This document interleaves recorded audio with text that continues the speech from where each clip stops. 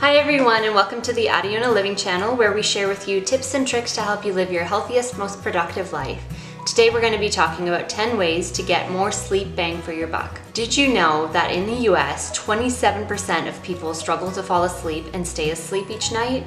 68% of people struggle to fall asleep at least once per week. And 41% of people who use sleep aids use them for more than a year. Today I want to help you not be one of these statistics. Stay tuned to the end of the video where I'm going to share with you the terrifying reason that you should avoid sleep aids if you can. Tip number one is to eliminate blue light at night. Blue light that emanates from your screens, whether it's your computer screen, your cell phone screen, or even your TV, interferes with melatonin production, which is the hormone responsible for having a good night's sleep. There are a few ways that you can eliminate blue light. You can either just go to bed when the sun goes down and wake up early, or you can use a blue light blocker. You can either use glasses, like the orange glasses that are specifically designed to cut out blue light, or you can use an extension on your computer like Flux, which is f.lux, and that is a free extension that cuts down on the blue light as you go into the night. Number two is to black out your room.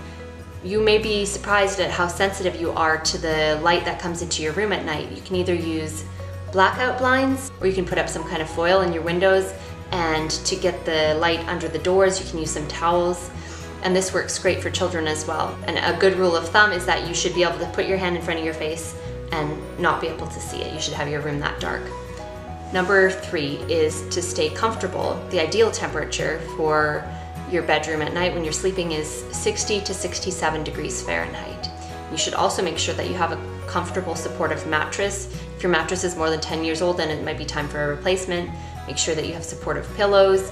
You can even get a specially designed knee pillow to support your legs and make sure that your room is free of allergens and irritants and free of noise. And if you have a noisy room, for example, a partner who snores, make sure that you use earplugs. Number four is a little device called HelloSense, and this costs $130, so it's a bit of an investment, but the HelloSense uses different sensors to detect the humidity, particulate content, and temperature in your sleep environment to make sure that it's the ideal conditions for sleep. So if you're really struggling with your sleep and you think it might be your sleep environment, then that might give you the peace of mind that you need. Number five is apps. If you don't have the budget for HelloSense, then you might want to consider using an app like Sleep Cycle, which has a lot of the same features as HelloSense, but for a fraction of the price. I think it goes for a dollar. Number six is Neuroon. Now this is a very high-tech device. This costs $300, so it's a bit of an investment, but it's a smart sleep mask and it monitors your brain activity while you sleep. And this can help you fight severe sleep conditions such as long-term insomnia, jet lag, or even lucid dreaming. If you're considering taking sleeping pills, then maybe you might want to try spending the money on this sleep mask instead. Number seven is tart cherry juice. Montmorency tart cherries are naturally high in melatonin, which is going to help you get a good night's sleep, but their juice is also high in tryptophan, which is an amino acid that's a precursor to, to serotonin, which also helps you get a good night's sleep. Number eight, pick a sleep schedule and stick to it going to bed at the same time every day, going and waking up at the same time every day, even on the weekends, is gonna help you get a good sleep routine, help you go to sleep faster, and help you stay asleep once you're asleep. Number 10, exercise. Vigorous exercise is the best, but any kind of exercise throughout the day, just staying active is gonna help you feel sleepy in the night and get to sleep faster.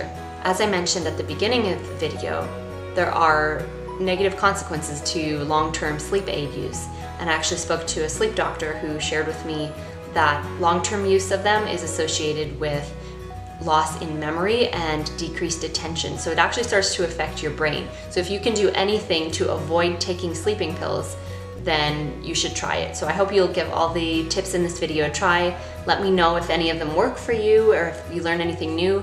And I want to hear from you too. If you have anything that you've tried that helped you deal with insomnia or helped you get a better night's sleep, then please let me know in the comments. Stay tuned for next week's video on designing an ergonomically correct office space.